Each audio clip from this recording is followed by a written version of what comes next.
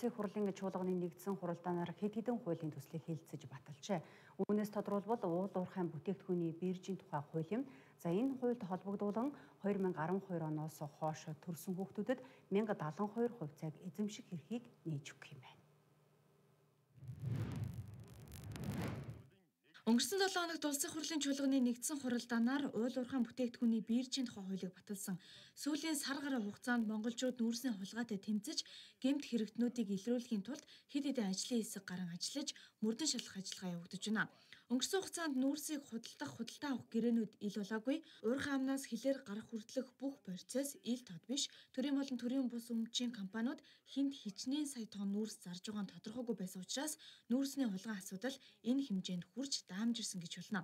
Ингээд биржийн тухай хуулийг баталснаар газрын доорх баялаг нийтийн өмч байх зарчмын хүрээнд асуудлууд шийдэгдэж байгааг холбогдох байгууллагаас мэдээлж байсан юм а.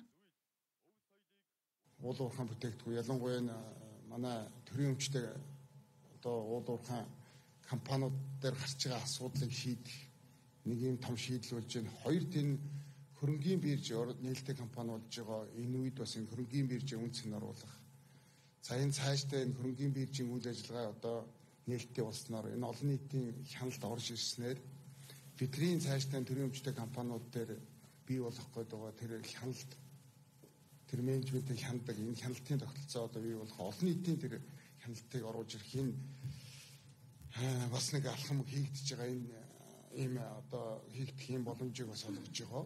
Тэгэхээр бид нар бол энэ хөрөнгөний бирж маань энэ одоо IPO-го амжилттай гаргаад За энэнийг энэ одоо сайн жишг болох юм бол одоо цаашдаа нь олон төрөмжтэй компаниуд энэ замаар явж одоо энэ нээлттэй ил тод үйл ажиллагаатай ийм компаниуд болох байхаа гэж бас бодож байна. Энэ хуультай холбоотой 2012 оны 4-р сарын 11-ээс хойш төрсэн хүүхдүүдэд 1072 хувьцааг эзэмших эрхийг нээж өгөхөөр болж байгаа талаар улсын хурлын дарга зандан шатар мэдээллээ. Мөн 1072 хувьцааг иргэдэд эзэмших эрхийг нь нээж өгөх чиглэлийг засгийн газарт олгох юм байна. 12 оны 4 сарын 11-ээс хойш төрсэн хүүхдүүд бол өнөөдөр хийдэл гараад одоо хоцорсон байгаа. Энэ хүүхдүүдэд тэр Монгол улсын иргэнийх нь хуваар одоо 1072 хувьцаа эзэмших бас эрхийн нээж бүртгэл хийя гэж байна. За энэ дээр бол яг анхны одоо тэр 2 3 хувилбараар бол энэ тогтоолын төсөл явж ирсэн зарим нэг төслийнх нь одоо зарим нэг хувилбартай нь бол одоо манай зарим их хурлын гишүүд одоо санал нийлэхгүй энэ зүйлүүд байгаа юм байлээ. За энэ бол мэдээж байнга орооны хуралдаа яригадад хэлцэгдээд энэ асуулт хэлцгээ зэрэг энэ дээр яригдана.